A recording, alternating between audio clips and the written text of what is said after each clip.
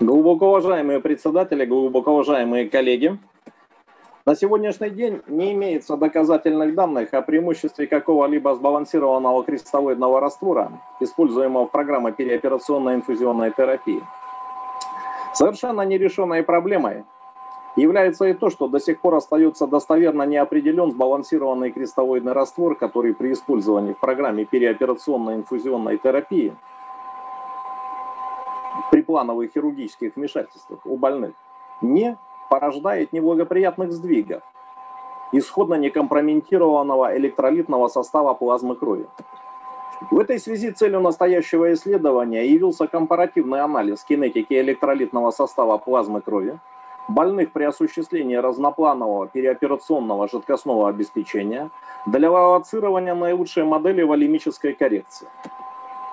Было проведено открытое клиническое рандомизированное методом конвертом исследование, где участвовали 80 пациентов, средний возраст которых составил 66 лет, которым проводилось плановое оперативное лечение для тотального эндопротезирования тазобедренного сустава. Они были разделены на две группы. Первую группу пациента составили, которые получали инфузионную терапию в интраоперационном и послеоперационных периодах раствором Рингера. Пациенты второй группы получали инфузионную терапию в интраоперационном и послеоперационном периодах раствором стерофундина изотонического. Я сразу скажу, чтобы, как говорится, здесь не было вопросов, да, объем инфузионной терапии был примерно одинаков, он составлял 9 мл на килограмм массы тела, а, и э, с разницей какой-то достоверной отличий по объему инфузионной терапии интраоперационной и ранней постоперационной не выявлено было у этих пациентов. А методы исследования – проводили до начала жидкостного обеспечения оперативного лечения. Очень важно было иметь точку, от которой можно было отталкиваться, а также через 12, 24, 48 и 72 часа после оперативного лечения. Оценивали параметры центральной гемодинамики, системы гемостаза, гематологические биохимические показатели, клинические данные и проводили статистический анализ. Критериями включения в исследование являлись плановая госпитализация, возраст пациентов от 40 до 80 лет, коксартроз с болевым синдромом, который не купировался консервативной терапией в анамнезе болезни, приводящей к функциональной недостаточности третьей степени, наличие абсолютных показаний к оперативному лечению, отсутствие показаний к предоперационной волемической коррекции и анестезиологический риск не более третьего класса по шкале АСА. Критерии исключения из исследования были следующими возраст младше и старше 80 лет, анестезиологический риск. Более третьего класса по шкале АСА, лечение гормональными препаратами, онкологические заболевания с отсутствием или наличием лучевой или химиотерапии в анамнезе, компенсированный или декомпенсированный сахарный диабет первого или второго типа, масса тела более 100 кг, отказ от участия в исследовании, либо участие в другом исследовании – наличие противопоказаний для проведения спинальной эпидуральной анестезии и имеющиеся показания для трансфузии компонентов крови в интро- и послеоперационном периодах.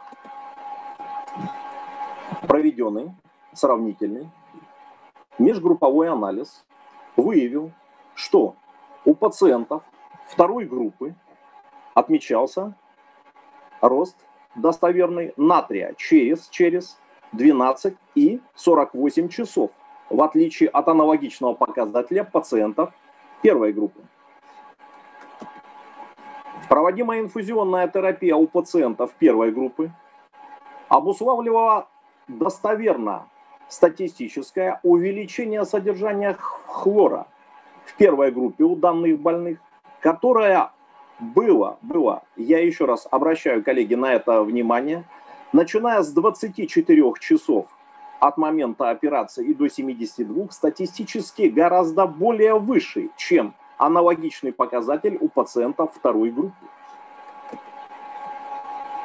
Абсолютно-абсолютно никакой статистической разницы не было выявлено сравнительным межгрупповым анализом по содержанию калия в плазме крови у пациентов первой и второй групп.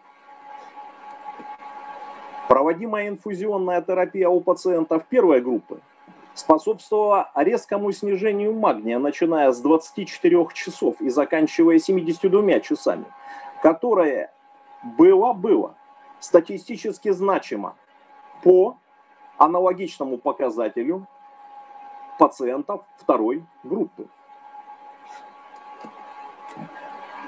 Более того, проводимая инфузионная терапия у пациентов первой группы также способствовала увеличению содержания в плазме крови больных первой группы кальция-ионизированных. Я также обращаю ваше внимание, что сравнительный межгрупповой анализ выявил, что данный параметр у пациентов первой группы был статистически значимо более выше, чем у пациентов второй группы, что позволяло говорить об увеличении гемостатического потенциала плазмы крови, где, как известно, кальций играет решающую роль и участвует во всех фазах свертывания крови. В этой связи, в этой связи мы сделали выводы, что применение у пациентов в программе переоперационной инфузионной терапии раствора Рингера увеличивает содержание в плазме крови хлора и кальция ионизированного, а также снижает содержание магния. Использование в модели переоперационной жидкостной коррекции у пациентов серофундина изотонического способствует его модернизации, так как в отличие от раствора Рингера не инициирует неблагоприятную кинетику содержания в плазме крови хлора, кальция ионизированного и магния.